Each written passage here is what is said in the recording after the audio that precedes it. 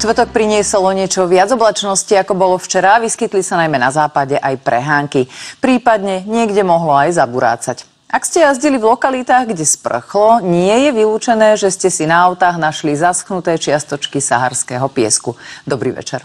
Do našej oblasti zasahuje od západu plitka tlaková níž so stredom nad Nemeckom a po jej prednom okraji k nám začína od juhu prúdiť vlhší vzduch. V noci a zajtra čiastočne ovplyvní počasie u nás zvlnený studený front, ktorý je s touto tlakovou nížou spojený. Ten rozdeľuje Európu na chladnejšiu západnú časť od teplejšej, do ktorej patrí aj Slovensko. A zajtra najmä jeho východná časť bude mať teplotu do 26 stupňov. Smerom na západ má byť od 18 do 23. Zrážky sa vyskytnú v noci a zajtra, najmä v západnej polovici vo forme prehánok alebo lokálnych búrok. Vietor bude fúkať väčšinou slabo, na juhozápade od juhovýchodu až juhu rýchlosťou do 25 až 30 km za hodinu. Ak sa náhodou vyskytne búrka, tak pri nej vietor prechodne zosilne. V noci bude oblačnosť nad Slovenskom premenlivá, prehánky, prípadne lokálne búrky sa častejšie vyskytnú v západnej polovici krajiny, na východe len o jedinele. Do rana sa ochladí na 14 až 8 stupňov. Pred nami je posledný pracovný deň v tomto týždni a prinesie častejšie zrážky opäť do západnej polovice krajiny. Takže na západnom Slovensku bude zajtrajší deň premedlivo oblačný, pričom sa vyskytnú prehánky alebo búrky. Teplota vystúpi na 18 až 22 stupňov. Vietor pri búrkach prechodne zosilnie. Na strednom Slovensku bude prevládať oblačné až zamračené počasie. Lokálne sa môže oblačnosť aj zmenšiť.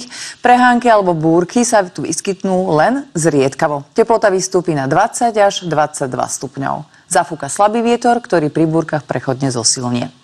No a na východe našej krajiny bude síce z počiatku viac oblačnosti, ale tá sa neskôr miestami zmenší, zrážky sa tu predpokladajú len výnimočne. Bude tu najteplejšie od 20 až do 26 stupňov. Tu má byť bezvetrie alebo zafúka len slabý vietor. V horských oblastiach sa bude tiež oblačnosť meniť od polojasnej až do prechodne zamračenej oblohy. Zrážky sa vyskytnú častejšie na západe krajiny ako na východe, kde sa predpokladajú len ojedinele. Vo výške 1500 metrov bude okolo 12 stupňov. Tlak vzduchu, ten bude zajtra ustálený. Slnko nám vychádza už o pol šiestej a zapadá pár minút po 20. Sobota prinesie prevažne polooblačné až oblačné počasie s možnosťou výskytu zriedkavých zrážok, najmä však na západe. Vo východnej polovici bude krajšie, len malá oblačnosť. Teplota vystúpi na 20 až 27 stupňov.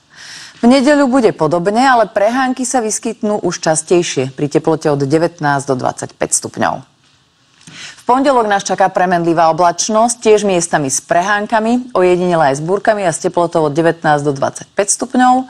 No a v útorok sa počasie výraznejšie nezmení. Vyskytnú sa nielen prehánky, ale aj lokálne búrky.